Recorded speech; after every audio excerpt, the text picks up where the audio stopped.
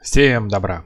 В конце прошлого года вышел квест от испанской компании Pendulo Studios Альфред Хичкок Vertigo.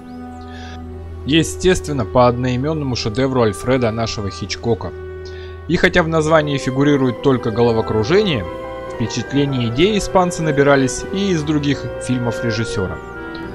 Сюжет игры рассказывает о писателе Эдди Миллере, который поехал кукухой и уверен, что своими руками убил собственную жену и ребенка. Хотя все, кто знал Эда, в курсе, что ни жены, ни детей у него не было. Чтобы разобраться с протечкой, к Миллеру по просьбе его друга приезжает профессор психологии и пытается выяснить, что же произошло на самом деле. Если хотите узнать всю историю в деталях, могу порекомендовать ролик на моем канале на эту тему. Там все детально, подробно и с картинками. А сегодня я хочу рассказать о тех моментах, которые не дали мне полностью погрузиться в историю, а иногда заставляли просто проржаться. Сегодня хочу рассказать про баги, сюжетный абсурд и прочую ерунду. Надеюсь, будет интересно.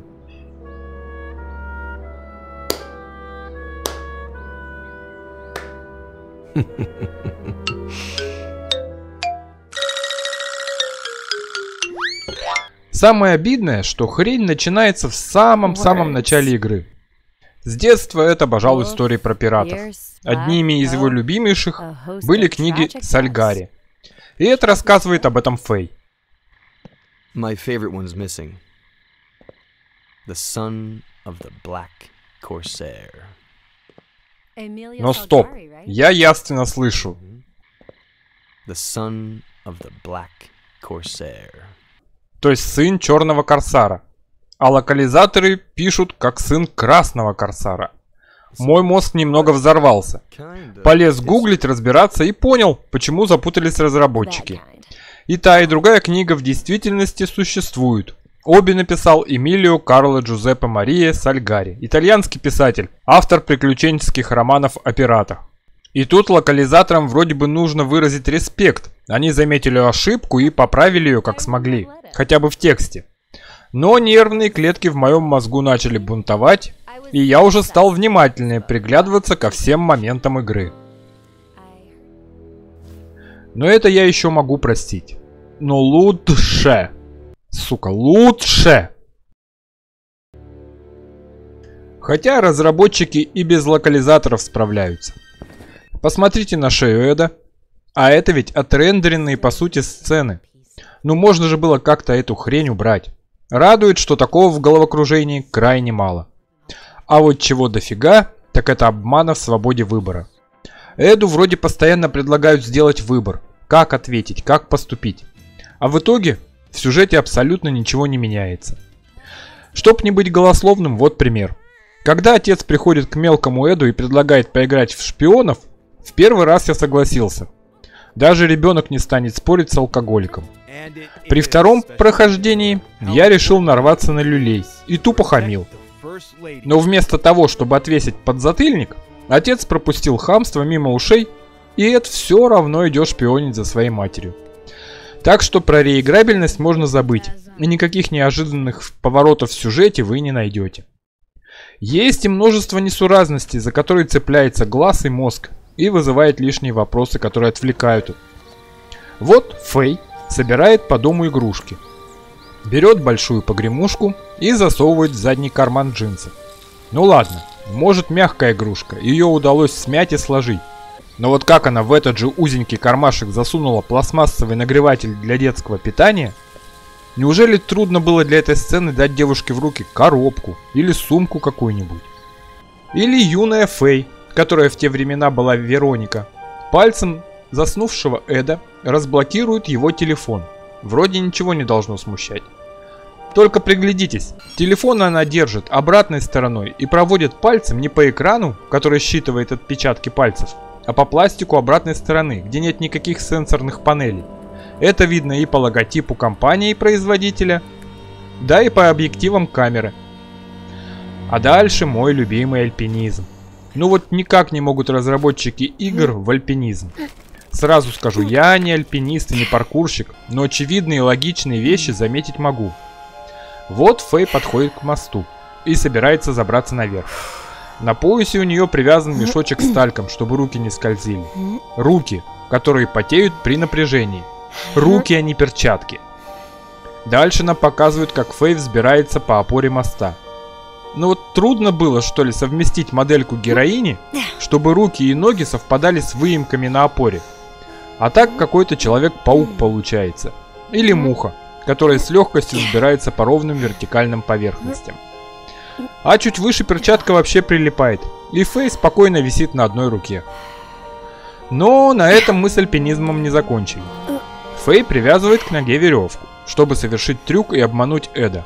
Она должна спрыгнуть с моста с косплеев «Смерть отца». Но блин, как? Это обычная веревка, привязанная за одну ногу. Если просто немного разбираться в физике, то эта нога у этой мухи должна просто оторваться, а Фэй полететь вниз. Видимо, Фэй сама об этом догадалась, и в момент падения мы уже веревки не видим. Непонятно, то ли девушка сама ее отвязала, то ли разработчики забыли ее в этой сцене нарисовать. И снова немного физики. Фэй спрыгнула с моста, и через секунду мы уже видим ее стоящей под мостом. Значит, она должна была рассчитать длину веревки так, чтобы легко можно было отцепить ее от ноги. Но это просто нереально сделать без напарника и только при помощи одной веревки. Фэй должна была или болтаться вверх ногами, если длина веревки была бы нормальной, но тогда она не смогла бы так быстро отвязаться.